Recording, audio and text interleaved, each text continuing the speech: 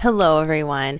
I'm going to do a quick video today about Charlie Adelson's deposition. And in this deposition, he has claimed his innocence concerning the Dan Markel murder. And I definitely think that this is newsworthy information. And this is the deposition that he took last month, December of 2021, for his disability insurance claim. And I want to share this with you because I think it's important that you guys know that he is on record claiming his innocence. And I'm sure that this is against his lawyer's advice. So, so I'm on page 79 of this deposition, and this is the case against Berkshire Life Insurance for his disability, which he claims that he has pulled his back out. And this is part two. I'm going to organize these into parts because this is a 400 page deposition and there's a lot of information in here guys and i definitely think that you should know about. So the part where i left off charlie was talking about what actually caused his injury forced him to seek out this disability insurance.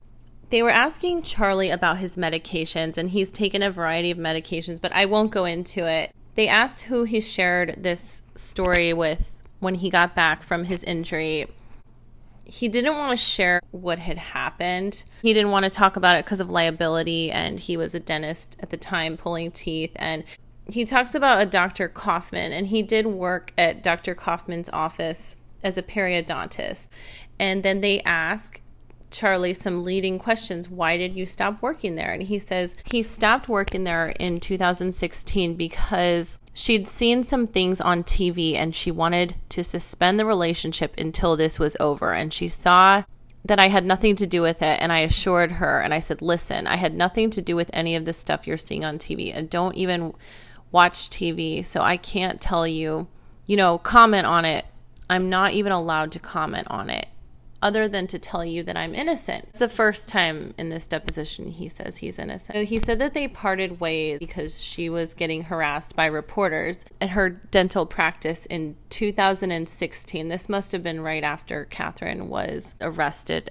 You know, they're asking him, referring to the reports about your brother in law murder, correct? And he said, You know, I haven't watched what you're talking about. I just told her it was a blanket answer that I had nothing to do with it. I can't talk to you about it. He says she understood. They asked the question, right, but so her concerns, whatever she had seen about you being mentioned, you know, in some fashion with the connection with the murder investigation of your brother in law. Fair. Charlie says, I believe she was getting harassed. They're, they're kind of asking Charlie a lot of leading questions, and I'm surprised that he's answering these.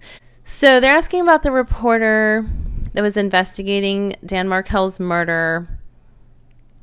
And he said that, and Charlie said that the reporter was calling the office.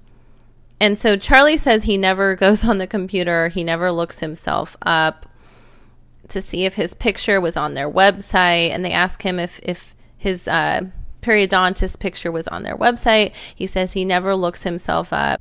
They ask if Charlie and yeah, they asking about his relationships with dentists around town, kind of like his relationships and his, I guess, his reputation. And he said he's not seeing any of his patients at her office since June.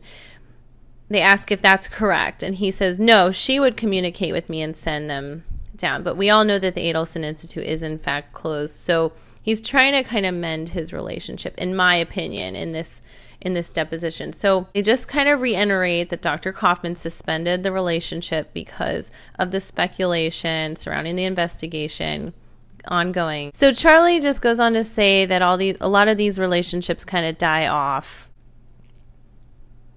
and that he doesn't think it has anything to do with the the murder of Dan Markel and the speculation. He just says sometimes the practices are sold to other corporations. They ask Charlie if the conversation with Mrs. Kaufman was dramatic about the people harassing her. And I think Charlie said something like she was crying or that she wanted to have him back once all this was over. And that was, of course, about five years ago. So obviously he hasn't been back. The thing that I'll end this video on today is that Charlie says, I maintain my position that I've always been innocent. So I'm going to leave it at that for today's video, you guys.